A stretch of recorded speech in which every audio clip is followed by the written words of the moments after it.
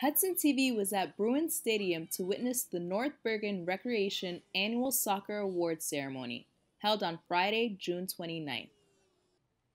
Each child would receive a participation award, and players who won championship games with their team would receive additional trophies as well. They celebrated with an end of the year barbecue, serving pizza, hot dogs, burgers, and more to both parents and children. It was a hot summer day, perfect for a barbecue, and the kids enjoyed playing outside with their friends. Over 1,100 students, ranging from ages 6 to 16 years old, participated this season and went home with an award today.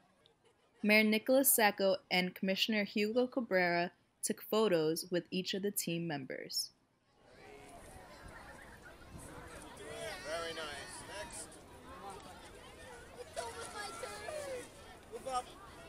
Move up. Is a great event. We always have a good one every year.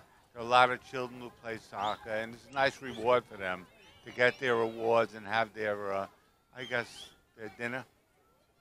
Uh, has become a very big sport, and uh, this is how we decided to do it, to have it in the stadium. And uh, the weather, fortunately, is very good, so we'll have all the kids come out and get their trophies and feel good about themselves.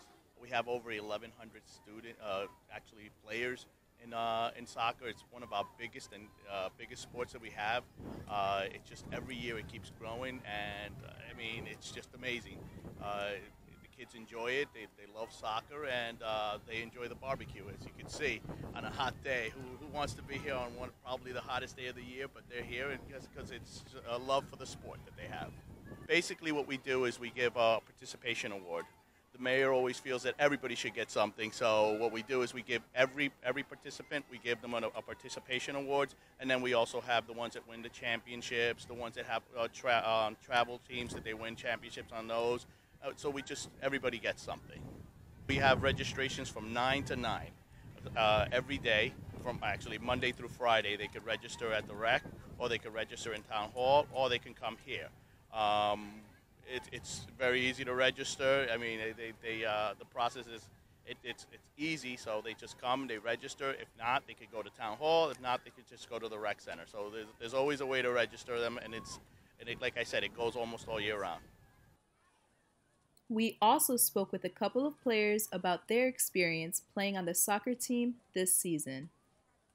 I've been here since I was like seven, so like five years. I've been here for seven years. And how is that experience? Good. Uh, I've had a lot of fun, even though we don't win. It's pretty fun going against other teams to see how good I am. It's really fun, even though in like Division Three, I my team lost a lot, so it was still fun. I mean, the awards are good because they're still motivating kids to like join and try to find something that they like and stuff like that. So I think it's a good experience. Soccer can help you get fit, and it's really fun too. And it's also if you don't have anything to do and if you want to make friends or something, it's, it's really easy to make friends in soccer. Win or lose, the kids of North Bergen prove they enjoy playing soccer and will continue to benefit from this program for years to come. In North Bergen, I'm Lydia De Los Santos with Hudson TV.